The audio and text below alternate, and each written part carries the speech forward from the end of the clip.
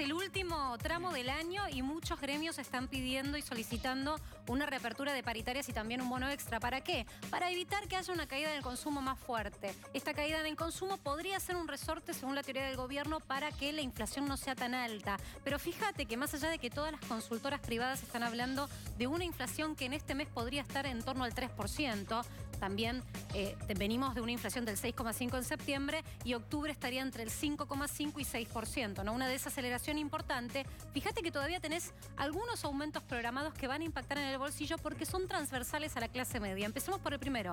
Subte. Aumenta a partir de mediados de mes un peso y viajar en subte va a pasar a costar 13 pesos con 50 y no termina allí. Después en diciembre otro aumento más para llevar la tarifa a un peso por mes de incremento en diciembre, entonces en 14,50 terminaría el año y así Nelson, nos vamos a febrero con un boleto del subte de 16,50. Y después a repensar los aumentos del año que viene. Claro, porque no terminó esto. Este, el año termina, pero los aumentos no. Los aumentos no. La BTV, seguro que si estás pensando en irte de viaje, las vacaciones y demás, usar el auto para hacer kilómetros de distancia, vas a tener que poner el auto en línea. Y la BTV en la ciudad de Buenos Aires ya se propone tener un incremento del 23% que se va a revisar en audiencia pública este mes y la propuesta oficial elevaría de los 931 pesos actuales que cuesta hoy la BTV de un auto a los 1.100 44,11 centavos. Es un aumento importante y sobre todo un aumento que tiene que ser costeado sí o sí porque estar en regla también tiene su precio. También,